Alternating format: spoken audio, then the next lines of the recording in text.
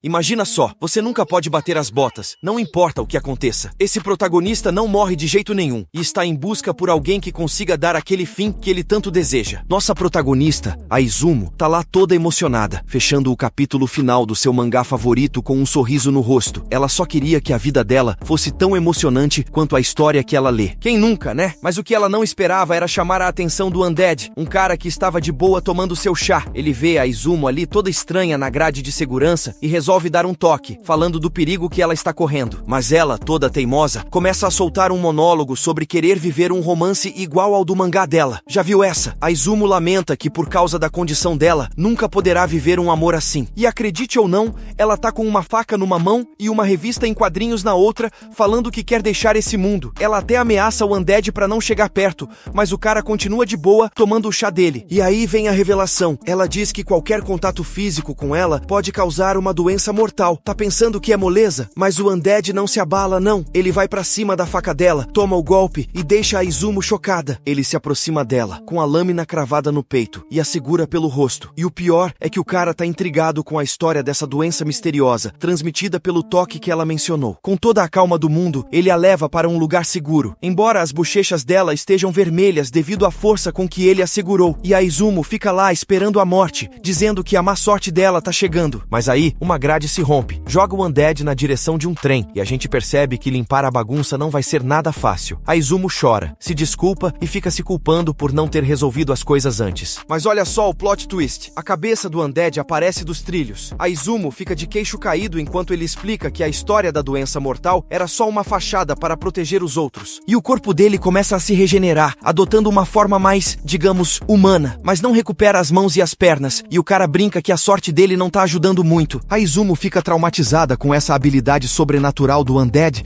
e com o visual dele, que é bem bizarro. A Izumo tá lá, segurando no alto desse prédio gigante, morrendo de medo, enquanto o Undead promete ajudar ela. Mas ela é teimosa, não quer dividir a história dela, só pede para ele soltar ela logo. Ela queria encerrar as coisas de uma vez por todas. Mas o Undead é teimoso também, faz um arremesso de martelo, quase mata a Izumo de susto, e aí ela cede e começa a contar a história dela. E tudo começou quando a Izumo tinha só oito anos. Ela estava no aeroporto, se despedindo dos pais que estavam indo viajar a trabalho. Abraços, beijos, tudo normal. Só que aí, o avião dos pais dela teve uns problemas no motor e, pá, explodiu bem na frente dela. Lágrimas, desespero. E a Izumo percebeu que, de alguma forma, ela estava envolvida nessa tragédia. Toda vez que alguém tocava nela, alguma coisa ruim acontecia. Então ela achou que foi culpa dela a explosão do avião. Desde então, ela vive escondendo a pele para evitar problemas. O Undead resolve abraçar ela por trás para ver o que acontece. Só que no meio disso, uma caixa de bananas cai do céu e. Splat! Esmaga ele todo. A Izumo aproveita a chance, tenta fugir, mas acaba escorregando numa banana e caindo do prédio. E o Undead, que já se regenerou, tá de boa, comendo as bananas que caíram. A Izumo tenta pegar o mangá dela, mas não alcança. Ela tá pensando, é agora, tchau mundo cruel. Mas aí, muda de ideia. Quer viver e experimentar um monte de coisas, tipo moda e amor. E o Undead, que é um cara todo esquisito, decide salvar ela usando a perna que havia regenerado apenas o osso isso. E ele ainda pega o mangá dela no ar? Não tá entendendo nada, né? O Undead revela que não quer deixar a Izumo morrer porque ela tem um poder maluco que pode dar um fim na vida dele. E ele sabe de uma regra que ela tentou esconder. Ah, essa história tá só começando! Eles partem juntos, voando pelos céus, mas um agente chega todo assustado e relata que achou o Undead e que eles estão indo pro esconderijo com uma nova aliada. Eles querem capturar a Izumo e descobrir as habilidades dela. Tá ficando cada vez mais louco, hein? Chegando no esconderijo, o Undead começa começa a fazer uns experimentos malucos. Ele percebe que quanto mais tempo ele toca nela, mais a má sorte aumenta. E aí, ela solta o cabelão, que é maior que o da Rapunzel. Isso porque ela não pode permitir que as pessoas encostem nela. Quem cortar o cabelo dela morre. Tenso, né? Mas o Undead mostra que já foi cabeleireiro. Pega uma tesoura e dá um trato no cabelo da Izumo. E olha, o novo visual dela tá um arraso. Ela abre os olhos, toda corada, e agradece a ele. Mas o Undead, esse preocupadão, tá pensando nas consequências de ter ficado tanto tempo tocando nela. E adivinhem só, a cabeça dele voa. Quem fez isso? O guarda caçador, é claro. Ele aparece todo educado, agradece a Izumo por distrair o Undead e ainda manda a equipe dele colocar a cabeça do Undead numa cápsula especial. Tudo isso para interromper a regeneração dele, coitado. Mas calma, que tem mais! Um dos capangas do caçador chega perto da Izumo e a detém. Eles estão de olho nela, porque qualquer pessoa que tem poderes, como a Izumo, pode causar um caos danado no mundo. E aí, o caçador tem uma ideia maluca. Ele quer transformar a Izumo numa assassina. Pode pode isso, Arnaldo. A Izumo fica preocupada, quer saber o que eles planejam fazer com o poder dela. E o caçador, todo sério, acha que o Undead capturou ela por causa disso. Só que a Izumo, que já conhece o Undead, percebe que ele só usou a má sorte dele contra ele mesmo. Ela defende o Undead e manda o caçador não ficar inventando histórias. O caçador ficou pistola e ameaçou eliminar a Izumo. Aí, a Izumo começa a ficar emocional, lembrando de como o Undead tem sido compreensivo apesar do poder dela. Ela pede desculpas e acha que tudo o que está acontecendo é culpa da má sorte do Undead por ter cortado o cabelo dela. Só que de repente, um raio cai e leva um dos caras que estava segurando o Undead para um buraco no prédio. Todo mundo fica assustado, achando que era o poder do Undead, mas o caçador fala que foi só uma coincidência. Só que a gente sabe que não foi, né? O Undead se levanta do buraco, pronto pro combate, e o caçador manda a gangue de Spider-Man descontados atacar com lâminas, porque armas de fogo não funcionam contra o zumbi. E o Undead, que já foi mestre em artes marciais, desbloqueia as memórias dele e vira um mob 100 de quinta categoria, dando um pau nos inimigos com facilidade. Ele conta que só não surtou porque tinha uma restrição antes. Ah, e a cabeça dele voou por causa de um raio que era para ele, o cara que estava segurando ele foi só dano colateral. O Undead estava todo animado para descobrir os truques que podiam ser ativados com vidas diferentes, mas o caçador da cicatriz veio com uma correção, dizendo que não eram só os poderes do Undead, mas todas as habilidades que ele adquiriu na vida dele que estavam à disposição dele. Imagina só, um zumbi com um arsenal de poderes. Aí, o caçador teve uma ideia bem maluca. Ele usou a Izumo de escudo humano e ameaçou matar ela se o Undead não entregasse a cabeça sem regenerar. O Undead não pensou duas vezes e jogou a cabeça na direção do caçador. E aí, a Izumo, com uma coordenação que nem o Batman teria, correu e deu um beijo na bochecha do Undead enquanto a cabeça dele ainda estava voando. Isso que é precisão. O caçador ficou de cara, não entendeu nada do que a Izumo fez. Ela explicou que era só um gesto amigável, mas o Undead já sacou que alguma coisa grande estava para acontecer. Ele usou os poderes de regeneração e prendeu o caçador, que tentou dar uma espadada nele, mas já estava derrotado. E aí, o melhor de tudo, um meteoro caiu no prédio. A Izumo conseguiu escapar, mas o Undead ficou lá, levando um meteoro na cara. Só que ele sobreviveu, com a espada ainda cravada no peito. E aí, a Izumo se apresentou, mas o Undead não lembra do seu nome, então ela decidiu chamar ele de Andy. E o Undead gostou do apelido. O Undead, agora oficialmente chamado de Andy, fala que a próxima aventura é uma aula de yoga para adultos. A Izumo aproveita a chance e sai correndo, porque o Andy passou a maior parte do episódio sem roupa.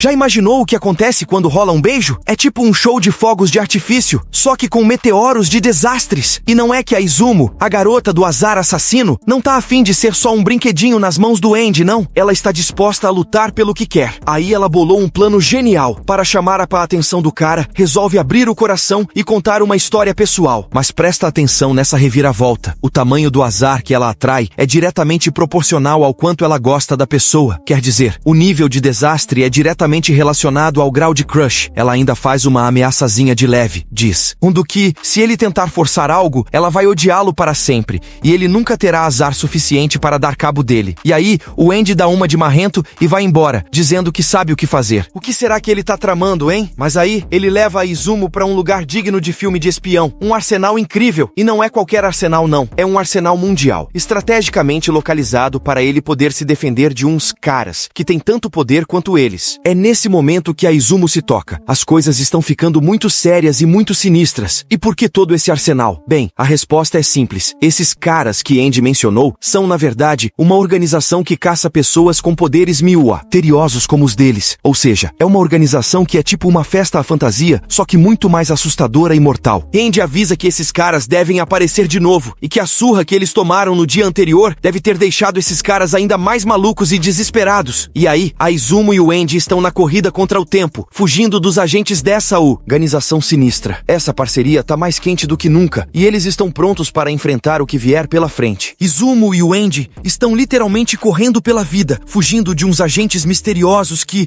pelo visto, querem mais do que pegar autógrafos. Mas Andy, com a calma de quem tá tomando um cafezinho, compartilha uma história aterrorizante do passe. Ado. Há 50 anos, esses caras capturaram ele e fizeram um show de horrores para validar seus superpoderes. E adivinha só, essa tortura durou a bagatela de 10 anos. É muita maldade junta, pessoal. Toda essa história sinistra faz a Izumo pensar no que esses caras fariam se colocassem as mãos nela. Será que teriam um manual de instruções para lidar com o azar dela? Será que tentariam desconectar os dedos dela para ver se o azar sai junto? A imaginação da Izumo começa a funcionar a todo vapor e ela entra em pânico, pedindo para saírem correndo de. Li antes que seja tarde demais. O nervosismo é tanto que as lágrimas estão rolando soltas. Mas nem só de fugas e desespero vive nossa dupla dinâmica. A Izumo, sempre curiosa, resolve perguntar pro Andy se ele tem algum plano brilhante para escapar dessa roubada. Ele, o mestre da resposta vaga, diz que não tem nada muito específico em mente, só o desejo de fugir, fugir e fugir mais um pouco. Aí, a Izumo, toda preocupada e se achando um fardo, começa a carregar a culpa de que sua presença pode colocar o Andy em apuros. Mas Andy, com um olhar de não vou deixar nada de ruim acontecer com você, gata, a tranquiliza. Não, pera, ele ainda insiste que vai fazer ela se apaixonar por ele. Ela, toda decidida a não cair nas garras do cupido, deixa claro que não vai se apaixonar. Mas Andy não desiste, com uma autoconfiança inabalável. Ele diz que é só questão de tempo até ela cair de amores por ele. Afinal, ela é uma presa fácil. E aí, ele ainda mexe no cabelo dela, só para provocar um pouco mais. Essa química tá mais forte do que nunca. Mas enquanto eles estão nesse flerte cheio de tiradas, o espaço acima deles parece quebrar, tipo um espelho, e o Andy percebe que tem problema no ar. É a marca registrada desses perseguidores, que são como aquelas moscas chatas que não te largam nunca. Aí, o Andy saca uma arma e se prepara para um confronto iminente, enquanto a Izumo, toda confusa, pergunta o que tá acontecendo. Ele explica que é assim que esses caras se movem. Primeiro eles mandam um aviso e depois partem pra porrada. Bem civilizados, esses perseguidores, né? Só que a coisa fica preta quando o Andy identifica esses perseguidores como membros da tal união. Eles chegam como um furacão e a Izumo e o Andy levam um tombo das motocas. Mas o Andy é rápido e já se levanta, pronto para revidar. Mas aí tem um plot twist. A Izumo começa a correr, mas é como se fosse na direção contrária. Quando ela menos espera, tá na frente de um cara suspeito, com cara de playboy e perguntas bem cabeludas. O cara começa a questionar a lealdade dela ao Andy e até provoca, dizendo que ela tá afim do rapaz. A Izumo, toda esperta, não tá muito interessada na cantada do carinha, e seu foco tá todo em tentar descobrir quem é esse maluco. Mas, enquanto tenta se afastar, percebe que suas pernas estão se comportando de uma forma anormal. Elas simplesmente não obedecem aos comandos dela. O playboy revela que ele a capturou e controla seus movimentos. E um robô que a Izumo chama de Jumbotron, vai entender, né?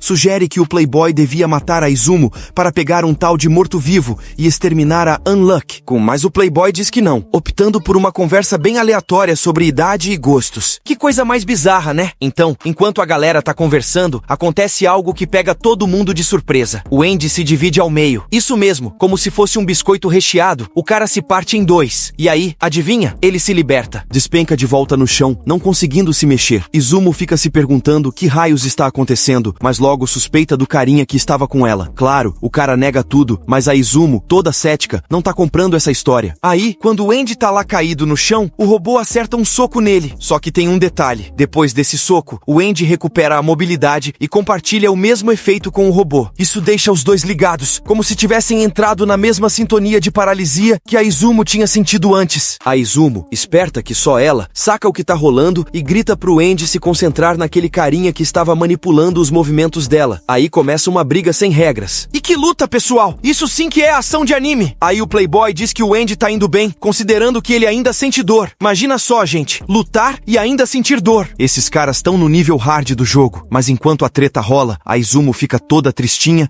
e pergunta se eles vão ser perseguidos para sempre. O Playboy solta a real. Eles só vão ser perseguidos se derem motivo para isso. E aí, ele solta a bomba. O evento do meteoro de ontem fez a prioridade da Izumo subir de 5 para 8 em uma escala de 10. Ou seja, a galera agora tá disposta a fazer o que for para pegar ela. E é claro que não importa para onde ela vá, sempre vai ter alguém disposto a ameaçar a vida alheia para capturá-la. Mas aí vem a parte intrigante. A Izumo, sempre cheia de perguntas, quer entender por que os caras não são perseguidos, sendo tão parecidos com ela. E o Playboy revela que eles também são negadores. Só que a conversa não acaba aí. O Andy percebe que despertou o interesse da Izumo, e aí é a vez do Shen contar mais detalhes. Eles fazem parte de uma organização chamada União, que é tipo uma agência que controla esses fenômenos não identificados. E a organização tem 10 membros, cada um ocupando uma cadeira. Sim, como num jogo de queimada. E depois que viram membros, não são mais perseguidos desde que cumpram missões sinistras. A Izumo tá toda empolgada com a ideia de entrar para a União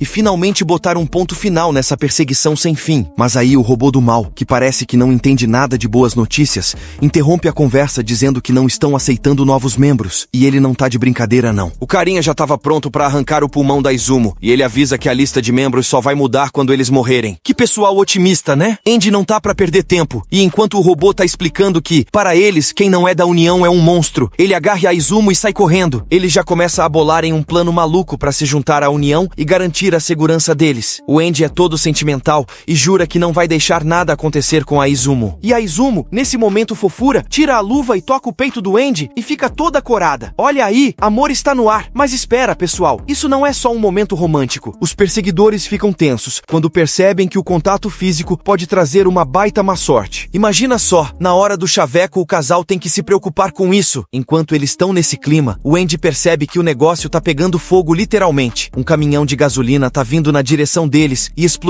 E aí, foi culpa do Andy? Tá tudo muito louco. Andy percebe que não vai ser moleza vencer esses negadores e que o segredo é entender o que eles estão negando. Ele lembra de uma treta anterior. Por isso, ele decide fazer um ataque surpresa para descobrir o que o Shen tá negando. Só que aí, um monte de dinamite surge do nada, destruindo tudo. E o Andy se pergunta se isso também é culpa dele. Que zica, pessoal! Enquanto isso, o robô não tá entendendo mais nada. O poder dele não tá funcionando e ele tá cada vez mais frustrado. Ele parte para cima do Andy, mas a mão do cara é decepada do nada. Uma voz misteriosa avisa que a parte do corpo que foi cortada some em 30 segundos. Andy tenta uma tática diferente e atira no rosto do robô com uma bala doida que ele chama de bala de pedaços. Que nome criativo, né? O Andy já tinha sacado o truque do robô. Ele estava negando os movimentos musculares das pessoas e isso não afetava a regeneração dele. O robô é derrotado porque não conhecia direito as próprias regras. Toma essa, robô! E aí, justo na hora da vitória, chega o Shen, que tá tipo, o que é que eu perdi? Olha só, pessoal, a situação tá pegando fogo. Andy tá afim de enfrentar o Shen, mas o Shen tenta explicar que já tá dentro da organização, sabe? Mas o Andy é teimoso e insiste que precisa de dois lugares, e assim começa o duelo. E o Andy tá lá, na frente do Shen, pensando na natureza desse poder todo. Ele sabe que vai ter que morrer algumas vezes antes de descobrir os segredos desse lance. Mas aí, na hora da luta, ele dá um jeito de usar a perna para proteger o Shen. Parece até um jogo de xadrez, só que bem mais violento. Nisso, a Izumo chega toda sorridente, achando que o Shen e o Andy estão virando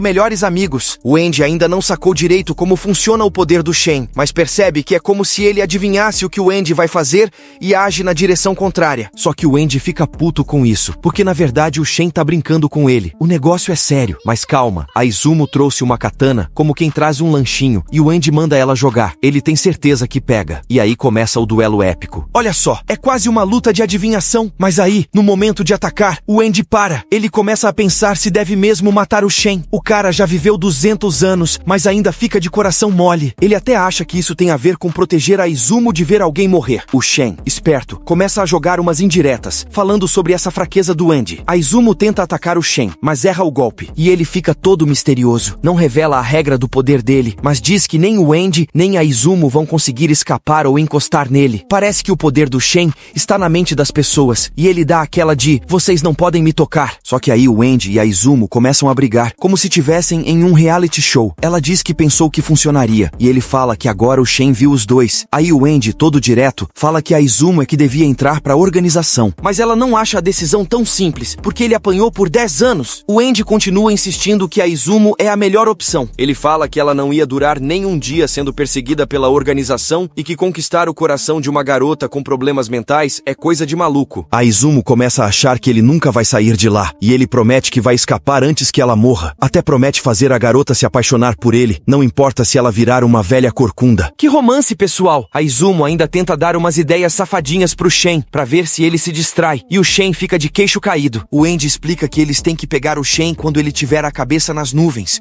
ou melhor, quando ele tiver de quatro. Aí as risadas são garantidas. E aí, pessoal, segura essa reviravolta. A Izumo pede pro Andy parar de falar e se joga naquele drama sobre estar ou não apaixonada. Ela diz que se alguém está disposto a lutar por ela, não dá pra simplesmente dar o fora, né? É o primeiro amor da garota, e ela tá toda confusa, mas quer dar uma força pro Andy. Ele é sortudo de ter alguém tão dedicada do lado dele. Aí, o Shen, que adora um climão, cai na risada e diz que isso é um relacionamento. E daí, ele faz uma proposta maluca, como sempre. Eles têm que matar outro membro da organização para conseguir mais uma vaga. Só depois disso, eles podem entrar na turma do Clube dos Negadores. O Shen marca um encontro no dia 5 de agosto, lá no Lago Bai. Um membro da organização organização vai fazer um serviço e eles têm que matar o coitado. A única pista? Uma gravata vermelha e um emblema. E lá vão eles, enfrentando os perigos no caminho. O Shen vai embora num portal dimensional e a Izumo fica tipo: Gente, a gente saiu ileso dessa! O Andy acha que foi por causa do melodrama dela, mas ela jura que tava falando sério. É melhor o Andy nem duvidar dessa garota. E aí, eles decidem que vão pra Rússia. Só tem um probleminha: eles não têm passaportes. Mas o Andy, o cara das surpresas, fala que já tá com tudo planejado. Ele tem um iate. Eles vão cruzar o oceano e encontrar uns camaradas de guerra na Rússia para completar a missão. Só lembrando que o Andy já tá animado com a vodka, pergunta a idade da Izumo e ela diz que tem 18 anos. Ele dá aquela risada e já prevê a diversão na Rússia. E para fechar com chave de ouro,